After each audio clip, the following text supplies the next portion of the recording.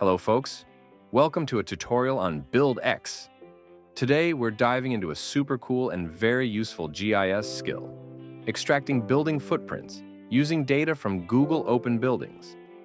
If you're looking to portray cities or do urban studies based on density, morphology, etc., or just an architecture fanatic, this is a must-know tool. Let's jump right in. I'm very excited for today's video. Okay, so first off, what is Google Open Buildings? Google Open Buildings is a free platform that provides building footprint data for locations around the world.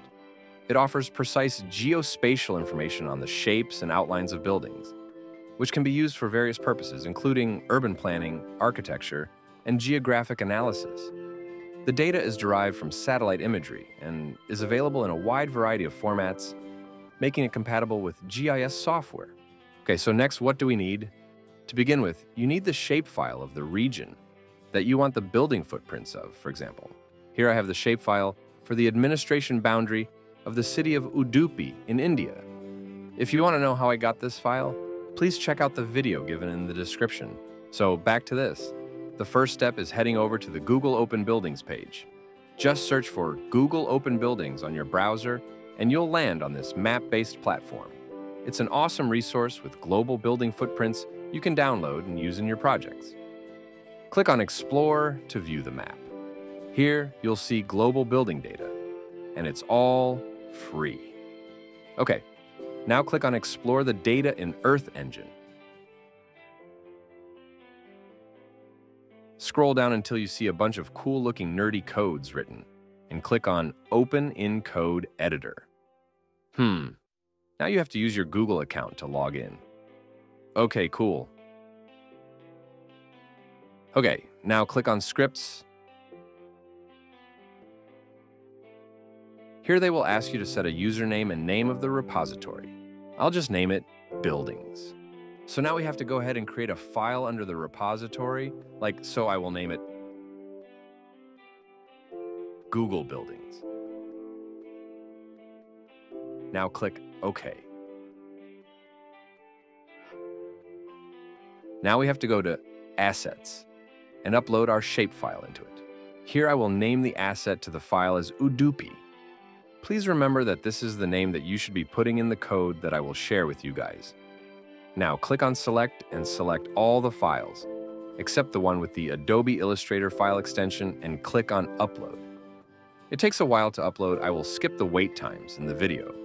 You can see the ongoing tasks under the Tasks section on the far right. Okay, so now the upload has been completed. We will click on the task and click on View Asset. Let me show it to you guys in comparison with the QGIS file right here. As you guys can see here, it is the same. Okay, cool. Now hit close and reload the web page so that we can load our asset into the script. So now as you guys can see, the asset has been loaded and is being shown right here. Okay, now head back to scripts and open the file we created before. Okay, now all you gotta do is copy the code that I have given in the description and paste it back into the repository that we just created, okay? Good. Now we have to go back to our asset and click on the arrow on the right with the script open so that the asset loads into the script. Now you will have to tweak it a bit according to your location. Now all you have to do is change the names in these places in the script that I am showing to the name that you gave to your asset. Since I had saved the asset as Udupi, I will do the same in the script.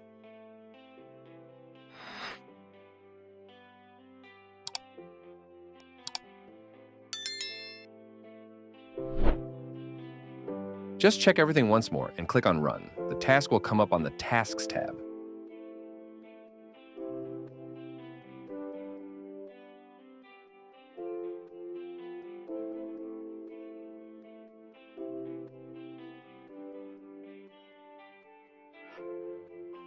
As you can see, all the buildings in our specified area has been loaded. Now click on Run from the task. It will ask you to set a name, the folder in your drive, and the file format.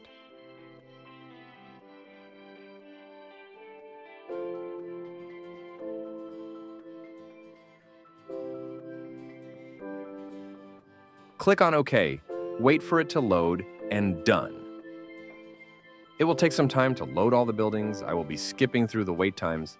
It generally takes a minute or two. Okay, so it's done now. Go to your Drive file and that particular folder, and we will have our shape file there. Now download the GeoJSON file. We will be loading this into QGIS. There's a separate detailed tutorial on how to do this and stylize it. I will just fast forward it in this video.